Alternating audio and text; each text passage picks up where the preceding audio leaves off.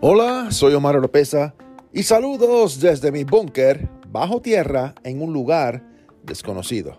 Y bienvenido a otro episodio de mi podcast. ¿Cuántas veces no hemos escuchado yo no soy quien para juzgar? O también, ¿quién eres tú para juzgarme? La pregunta de hoy es, ¿acaso los cristianos deben juzgar? No se muevan, no cambien ese canal, que enseguida regreso.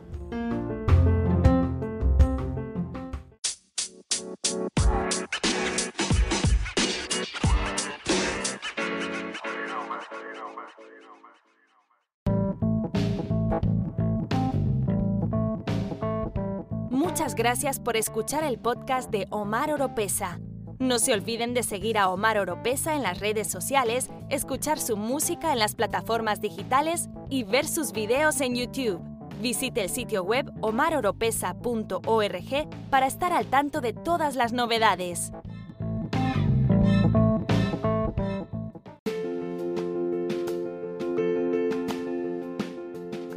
Nosotros los cristianos estamos llenos de, contradicciones.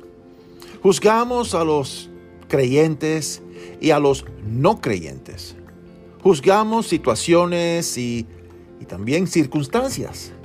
Incluso a veces juzgamos a Dios, nuestro Señor y Creador. Sin embargo, citamos a Jesús. No juzguéis para que no seáis juzgados, porque con el juicio que juzguéis, seréis juzgados, y con la medida que uséis, os será devuelta. Eso está en Mateo capítulo 7, versículo 1 y 2. Cuando nos critican, a menudo respondemos diciendo, hey, no me juzgues.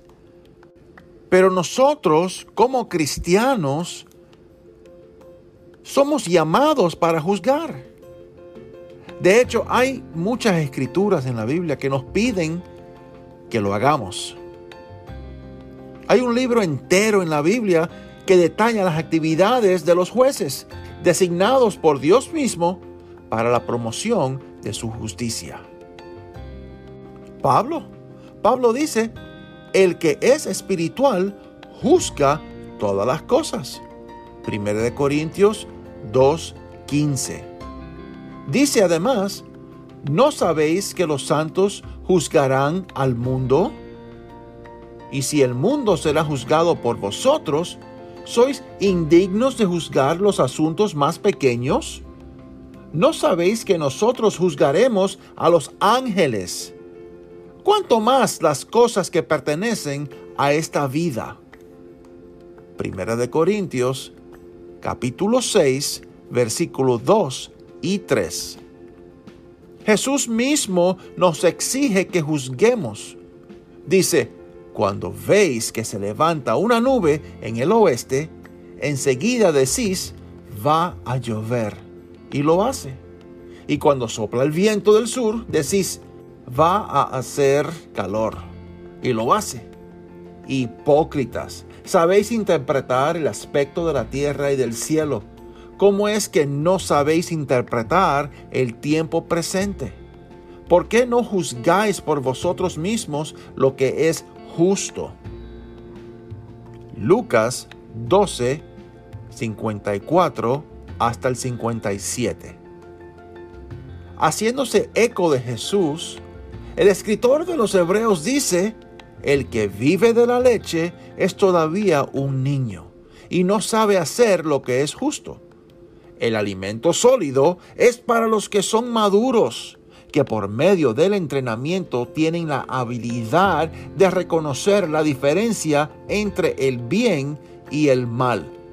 Hebreos capítulo 5, versículos 13 y 14. La escritura se utiliza para entender la escritura. Así, aunque Jesús dice que no debemos juzgar en Mateo 7, dice que debemos juzgar en Lucas 12.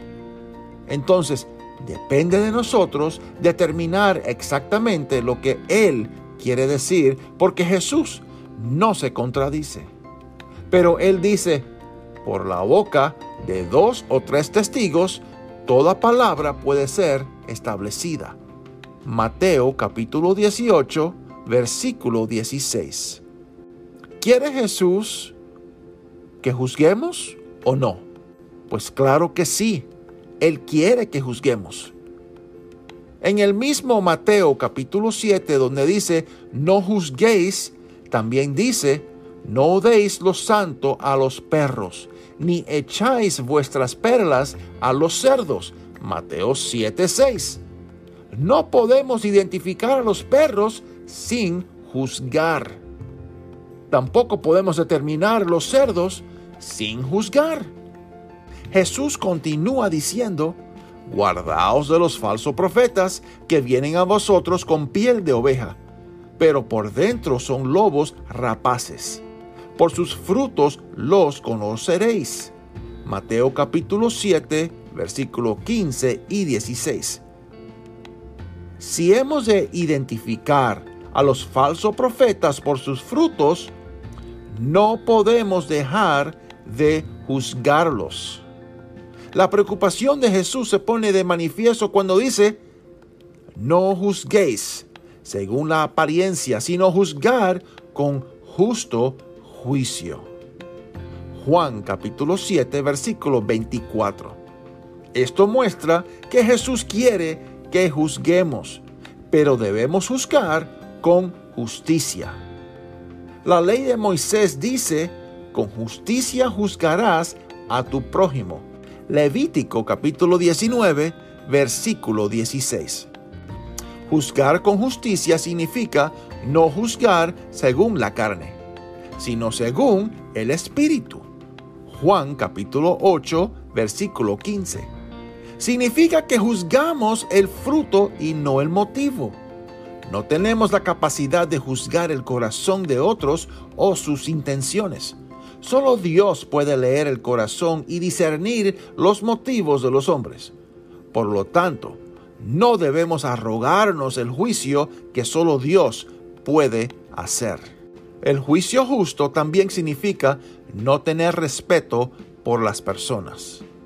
En consecuencia, Santiago advierte, no tengáis la fe de nuestro Señor Jesucristo, el Señor de la gloria, con parcialidad porque si entra en vuestra asamblea un hombre con anillos de oro, vestido con ropas finas, y entra también un hombre vestido con ropas sucias, y os fijáis en el que lleva ropas finas, y le decís, tú te sientas aquí en un buen lugar, y al pobre le decís, tú estás ahí, o siéntate aquí en mi escabel.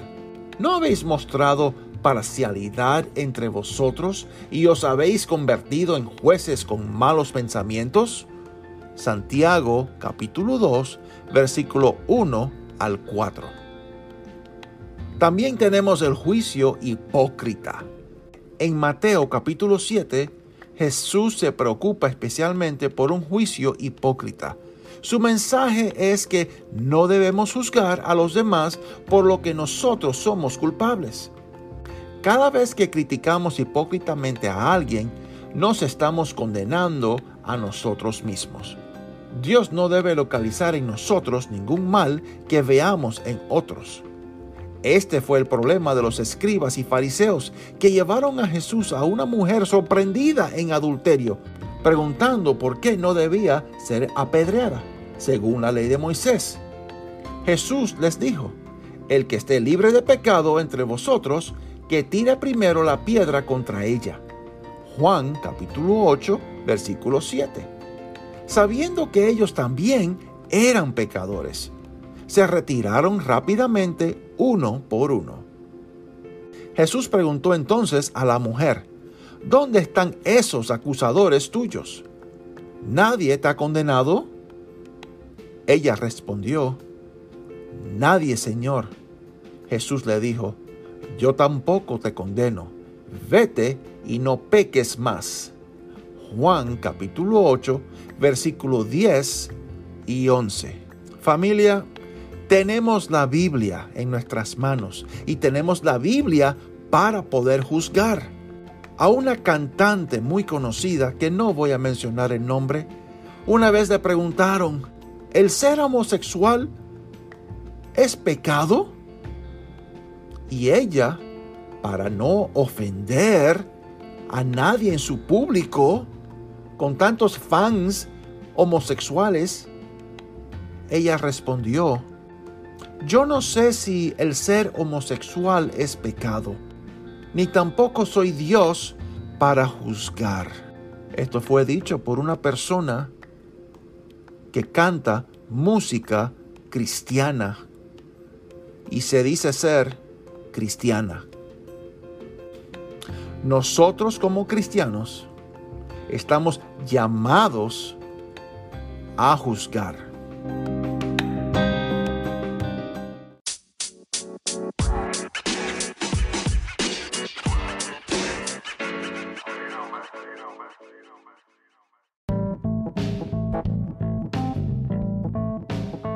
Si le gusta este podcast, usted nos puede apoyar compartiéndolo y a través de donaciones presionando el link en la descripción.